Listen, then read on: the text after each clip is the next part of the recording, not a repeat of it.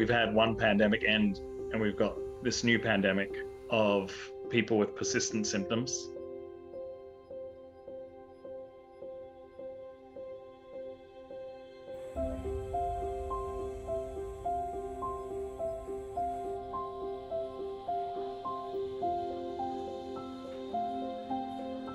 We started seeing this cluster of people who were expressing different symptoms. The symptoms had changed from, you know, headache and fever and chills and shortness of breath and cough.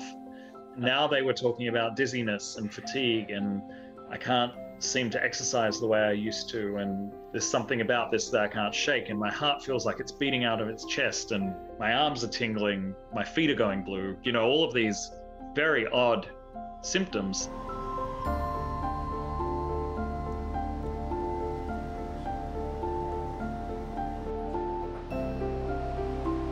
Often by the time they made it to our clinic, they're so overwrought that it's a miracle that they're still standing, let alone managing this highly debilitating condition.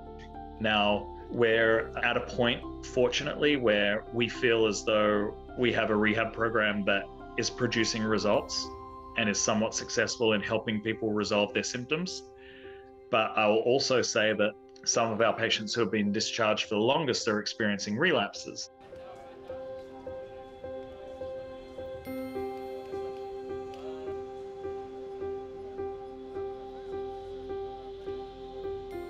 We know that when we increase people's CO2 levels, an edge comes off of their symptoms in most cases. Psychologically, that's a big, big deal. Just being able to say, I have control over this, as opposed to, I almost fainted and I have no idea why.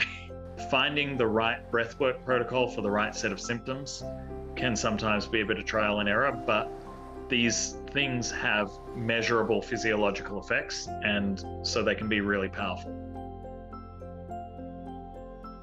Thank you.